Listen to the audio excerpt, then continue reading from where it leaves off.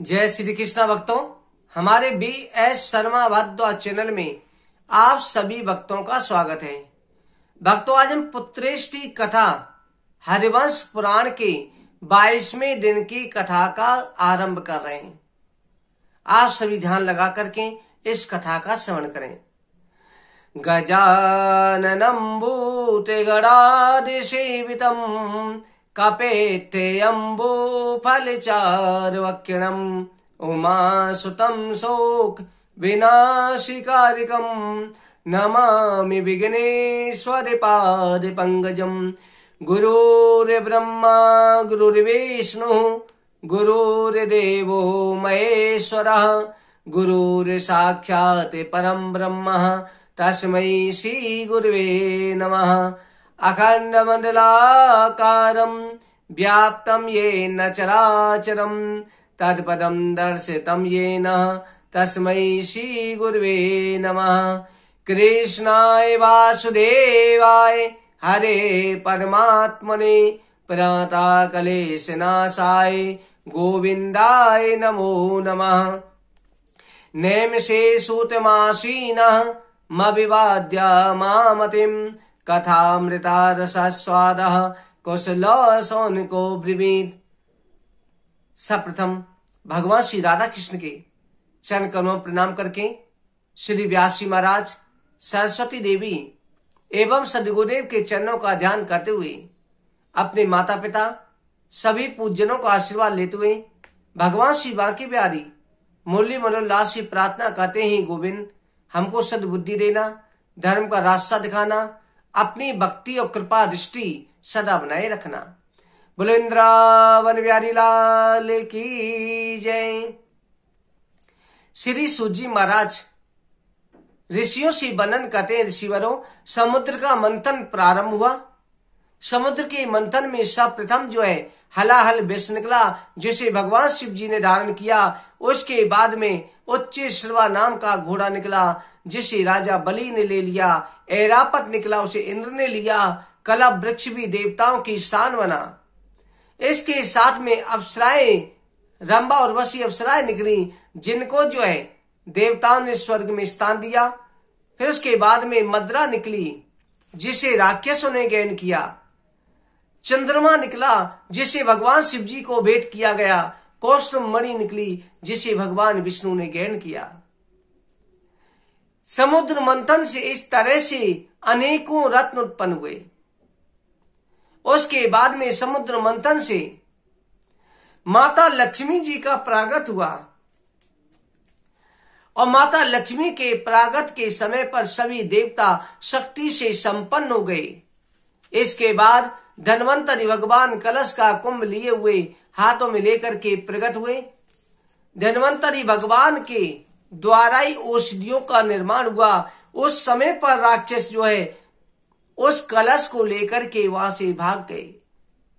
देवताओं ने पीछा किया। राक्षस जब भाग गए, सभी देवताओं ने भगवान विष्णु का ध्यान किया। भगवान विष्णु मोहिनी का रूप धारण करके राक्षसों के सामने प्रकट हुए और राक्षसों को आपस में जगाते हुए देख के कहा, कि आप उच्च कुल के हो। आपको जो है मर्यादा के साथ में आपस में बांट कर के इस अमृत का पान करना चाहिए।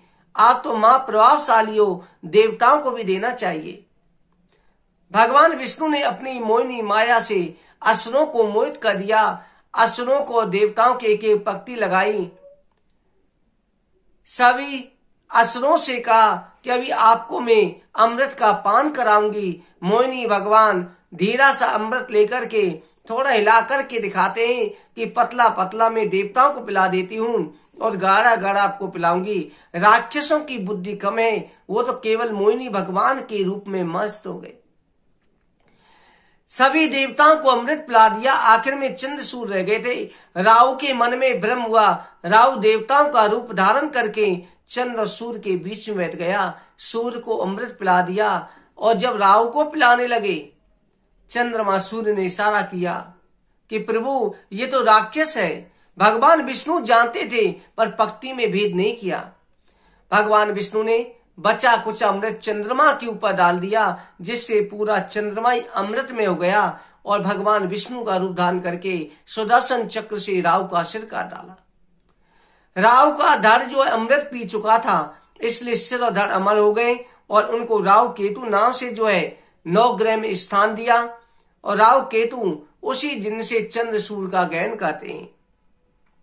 इधर जो है भगवान विष्णु के और लक्ष्मी जी के विवाह की तैयारी हुई। सभी देवताओं ने बड़ा आयोजन किया और लक्ष्मी नारायण का विवाह हुआ। सभी देवता शक्ति संपन्न हो गए थे। सभी देवताओं ने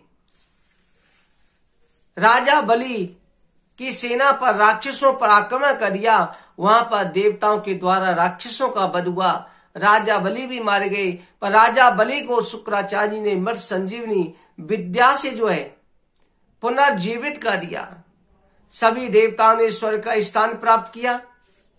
इधर राजा बलि जो है शुक्राचार्य की सम्मति लेकर फिर ब्राह्मणों की सेवा करते हुए भृगवंशीय ब्राह्मणों के द्वारा अश्वमेघ यज्ञ कराया। उन्होंने बहुत बड़े बड़े यज्ञ किए। फिर सभी ब्राह्मणों ने अपनी अपनी शक्ति जो है शुक्राचार्य की सम्मति से राजा बलि को सौंप दी। राजा बलि ने ब्राह्मणों की शक्ति से संपन्न होकर के इंद्र पर आक्रमण कर दिया और इंद्र का स्वर्ग का आसन छीन लिया और स्वयं आरोण हो गया। राजा बलि के धर्म में, राज्य में जो है, धर्म चारोर छा गया। राजा बलि के राज्य में जो है, राक्षस राज ज़रूर था, परंतु पहला जी का पोता था। राजा बलि ने हर जगह विष्णु भक्ति का प्रचार करा। चारों तरफ़ सुख समृद्धि फैल गई। माता अदिति ने अपने पुत्रों को पीड़ित देखा।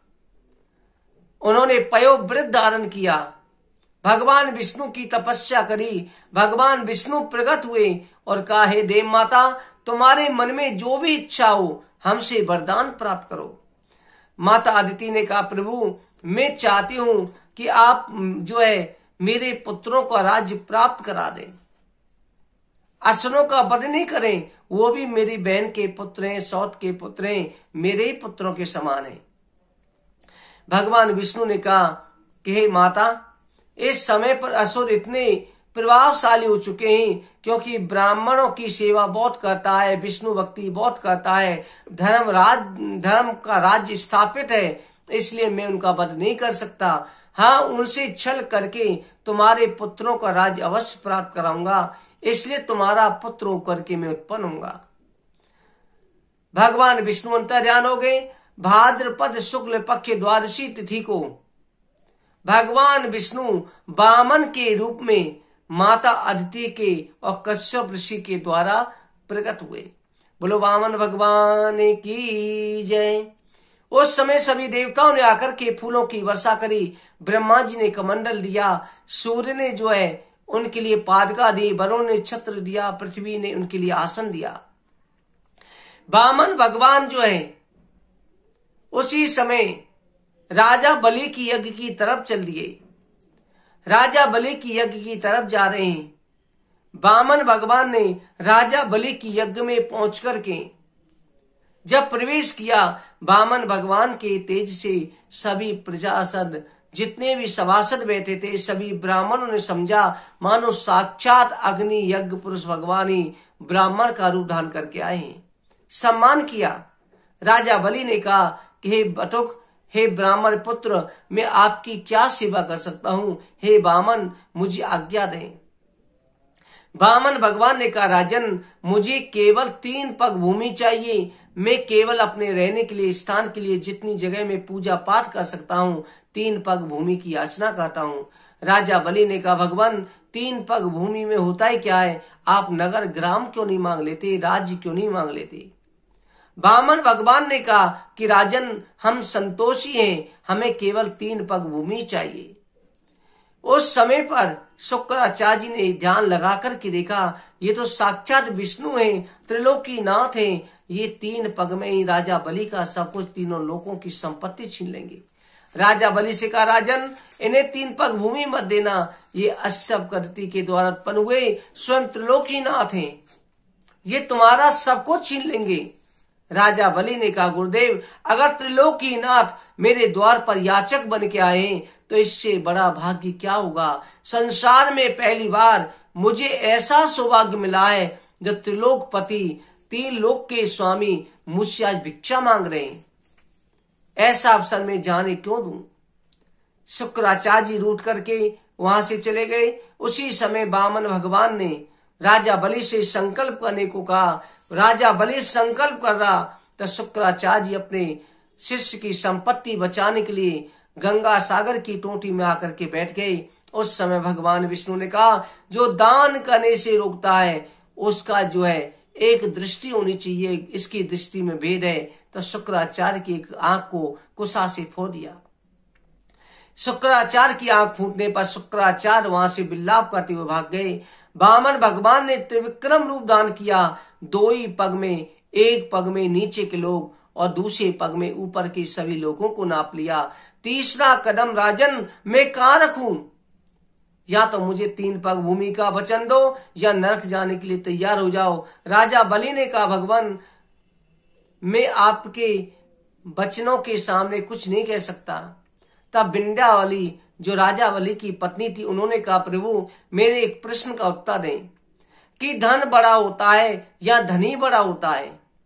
बामन भगवान ने कहा, देवी, धनी बड़ा होता है। धन तो जड़ है, धनी धन से बड़ा है।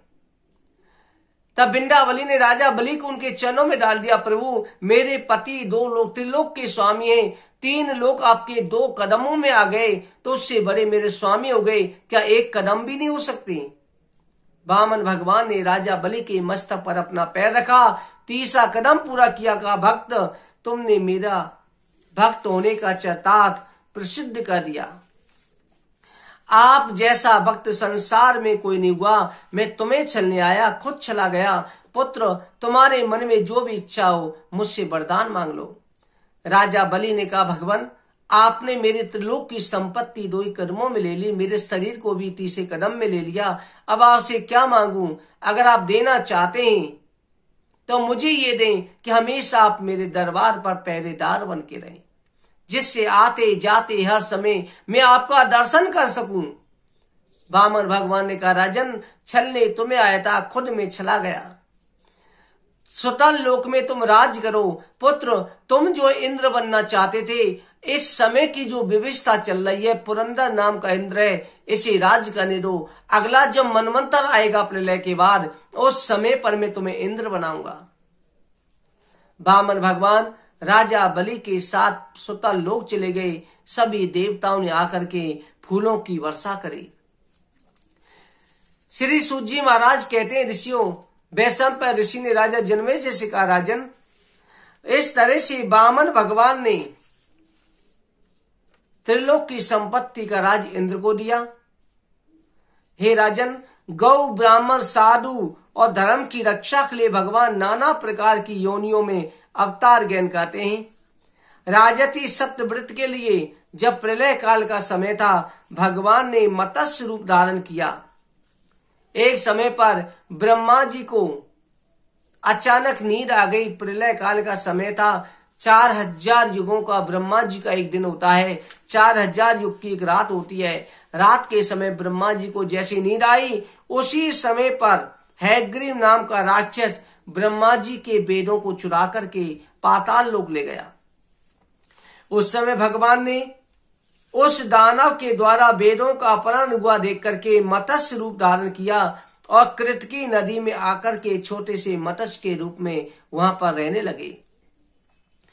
उसी समय पर राजा सत्यव्रत जो है, वहाँ पर स्नान करने को गया और मछली के रूप में भगवान ने कहा राजन, मैं छोटी सी मछली हूँ मेरी रक्षा करो। ये कह करके राजा की अंजलि में आ गई। यहाँ बड़ी मछलियाँ मुझे खा जाएँगी।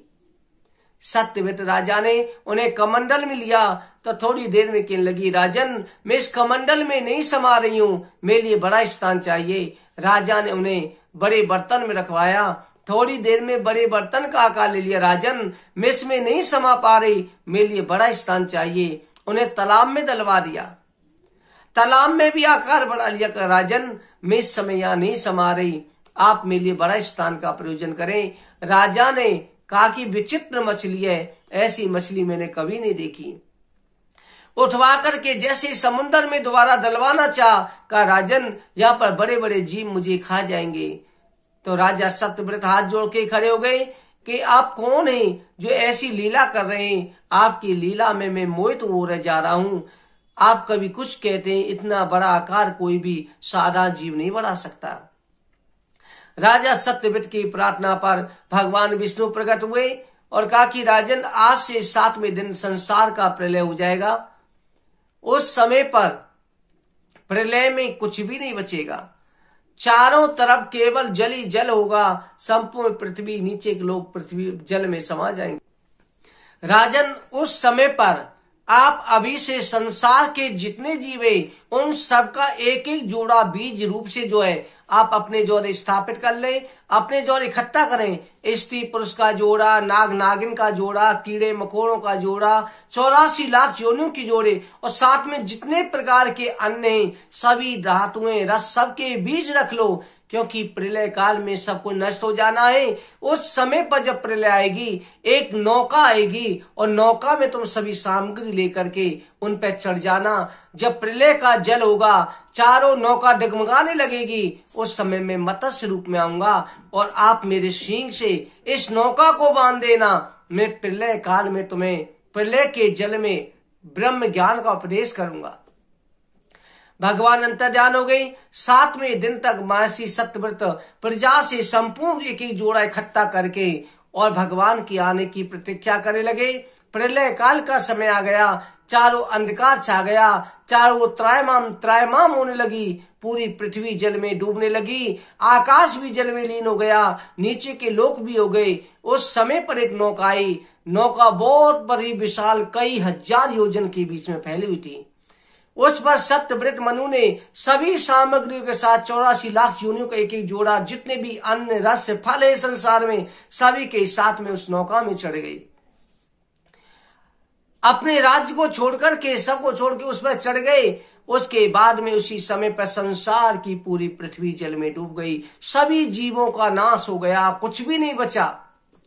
उस समय नौका डगमगाने लगी। प्रलय काल की आंधी थी, क्योंकि चार हज़ार युगों तक जो है, वो प्रलय रहनी थी। उस समय एक मछली आई, मत्स्य रूप में भगवान आए। मत्स्य के सींग से जो नौका को बाँध दिया, और उस समय पर मत्स्य भगवान प्रलय काल के जल में सैर कराते हुए राजा सत्यव्रत मनु को ब्रह्म ज्ञान का उपदेश दिया, जिसे मत्स्य पुराण कहा गया।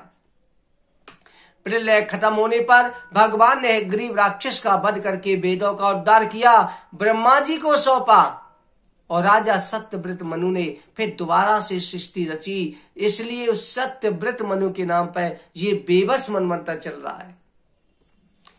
इस तरह फिर सत्यव्रत बेबस मनु के आगे चल के पुत्र सुब्रमण हुए, जिनको पार्वती के श्राप से स्त्री योनि प्राप्त हुई। फिर बेवस्त मनु के दस पुत्र हुए थे, जिनमें सड़ंग जो है, इसे श्राप लग गया था। सड़ंग जो है, इससे गलती गलती से गौत्या हुई थी, इसलिए इन्हें शुद्ध होने का श्राप दे दिया। फिर इन्होंने योग साधना के द्वारा शरीर को नष्ट किया। इसी वंश में आगे चल के नबग हुआ। नबग के नाबाग इसी वंश में अम्बरीश हुए। अम्बरीश जो है भगवान विष्णु के अनन्य भक्त थे, प्रत्येक एकादशी का व्रत करते थे। एक समय पर दुर्वासा ऋषि महाराज अम्बरीश के यहाँ पर आए। दुर्वासा ऋषि को महाराज अम्बरीश ने भोजन करने का निमंत्रण दिया। एकादशी तिथि पूर्ण हो चुकी थी। द्वासी को पलायन करना था। दुर्वासा ऋषि कहने लगे, राजन, मैं अभी स्नान करके आता हूँ। तब आकर के भोजन करूँगा। इधर महाराज अम्बरीश ने देखा दुर्वासा ऋषि ध्यान समाधि में थोड़े लीन हो गए द्वासी तिथि नष्ट हुई जा रही थी। समय निकला जा रहा था। पयाण का समय निकला जा रहा था। ब्राह्मणों से परामर्श करके उन्होंने तुलसी दल जो अर्पण कर लिया। भगवान को अर्पण करके तुलसी का पत्ता गैन कर लिया, जिससे व्रत की पूर्णता करी। उसी समय पर अम्बरीश अम्बरीश के पास में दुर्वासा ऋषि आए। उन्होंने राजा को प्रसन्न चित्त देखा। कहा कि राजा ने लग रहा है भोजन कर लिया है। तभी तो इसने द्वादशी का व्रत पूर्ण कर लिया है। दुर्वासा ऋषि क्रोधित हो गए। अरे दोस्त तूने एक ब्राह्मण को जो है, एक ऋषि को भोजन का निमंत्रण दे करके स्वयं भोजन कर लिया। अब मैं तुझे नष्ट किए देता हूँ, तू बड़ा पाखंडी है, तू ब्राह्मणों का भक्त बनता है। उस समय पर जैसे कृत्या राक्षसी को उत्पन्न किया, कृत्या जो है अम्बरीश राजा को जो है खाने के लिए दौड़ी। अम्बरीश राजा हाथ जोड़कर के खड़े रहे और चरणों में गिर पड़े। हे ब्राह्म देवता, मुझे क्षमा करे। उसी समय पर सुदर्शन चक्र आया और जिसने कृत्या को जला करके भस्म कर दिया, दुर्वासा ऋषि की तरफ़ बढ़ा। दुर्वासा ऋषि सुदर्शन चक्र से भयभीत होकर के तीनों लोकों में भागने लगे। परंतु कहीं भी जो है सुदर्शन ने पीछा नहीं छोड़ा। तब भगवान विष्णु के पास गए। विष्णु भगवान ने कहा ऋषिवर ये मेरा सुदर्शन नहीं है। मेरा सुदर्शन तो मेरे पास है। मेरे भक्त जो एकादशी का व्रत रखते हैं, पूरन ब्राह्मणों की, गाय की, संतों की और मेरी भक्ति करते हैं, उनका सुदर्शन उनकी रक्षा करता है। आप राजा अम्बरीश के पास ही जाओ, क्योंकि आपने उनका अपमान किया है। उस राजा ने भोजन नहीं करा, तुलसी का पत्ता गहन किया था। दुर्वासा ऋषि गए और राजा अम्बरीश से क्षमा याचना करने लगे। तो राजा अम्बरीश ने सुदर्शन चक्र से कहा, हे सुदर्शन, अगर मैंने ब्राह्मणों की तन मन से सेवा करी है, विष्णु भक्ति सच्चे भाव से करी है तो आप शांत हो जाएँ, इन ऋषि को नष्ट ना करे। सुदर्शन शांत हो गया। तो राजा अम्बरीश की भक्ति को जो है, एकादशी व्रत के महत्व को दुर्वासा ऋषि ने नमस्कार करा। और दुर्वासा ऋषि ने प्रेम से भोजन किया और कहा, राजन, भगवान विष्णु में तुम्हारी अनन्य भक्ति बनी रहे। दुर्वासा ऋषि जो है, वहाँ से राजा अम्बरीश को आशीर्वाद देकर के वहाँ से जो उसी समय पर प्रस्थान कर जाते हैं। भक्तों, एकादशी का युक्त सामस्तरे वीरो ददाद द्वादशी वितम द्वादशी का निर्देश है। एकादशी व्रत राजा अम्बरीश ने द्वादशी में पढ़ाए क्यों करा? कहते हैं कि द्वादशी वृद्धा एकादशी का ही व्रत करना चाहिए। दसवीं वृद्धा एकादशी का कभी व्रत नहीं करना चाहिए। कई बार होता है, आप जो देखते हैं वीडियो एकादशी का व्रत किसने रखना है? एकादशी व्रत दो प्रकार की होती है। एकादशी स्मार्ट और वैष्णव। स्मार्ट का मतलब होता है, दसवीं वृद्धा, जो दसवीं के साथ द्वादशी, एकादशी लग जाती है, उसे दसवीं वृद्धा स्मार्ट कहते हैं। उसका व्रत कभी नहीं रखना चाहिए, उसका फल मोहिनी देवी को चला जाता है, जिसकी कथा भी आगे चल के हम सुनाएँगे। और द्वादशी वृद्धा, द्वादशी के साथ चाहे एक गड़ी एकादशी आ रही है, उसका व्रत रखना चाहिए। इस पर राधा जी का भी मत है कि दसवीं बचपन गड़ी हो तो एकादशी का त्याग करके द्वादशी को व्रत करे। एक पल भी दसवीं वेद होने पर एकादशी त्याग बताई गई है। जैसे गंगा जल में के गड़े में एक बूंद मदरा भी गिर जाए तो उसे त्याग दिया जाता है। इसलिए कदाचित एकादशी वृद्धा हो, द्वादशी आ जाए तो द्वादशी के साथ में व्रत रखा जाता है, तभी कहा जाता है दसवीं पंच पंचाशता घटका तेन प्रदर्शते तई एकादशी त्यादा द्वादशी समपासते। दसवीं पल मात्रेण त्याज्या एकादशी तिथि मिद्रा बिंदु पातेन त्यागं घटो यथा। एकादशी यदा वृद्धि, द्वादशी च यदा गृदा यदा पराह्यो शान पूना द्वादशी बजे इसलिए द्वादशी के साथ जो एकादशी लगी होती है, उस एकादशी का व्रत करना चाहिए। चाहे थोड़ी सी घड़ी क्यों नहीं हो, इसलिए भक्तों, हमेशा ध्यान रखो, द्वादशी के साथ जो एकादशी आती है, चाहे एक सुबह ही सुबह एक घड़ी आ रही है, उसी का व्रत रखो। ये एकादशी का महत्व है। भक्तों, आज की वीडियो, आज की कथा कहीं पर विश्राम करते हैं। आगे कथा जो कल की कथा मनन करेंगे, आप सभी को जय श्री कृष्णा। जय जय श्री राधे जय जय श्री राधे जय जय श्री राधे श्याम।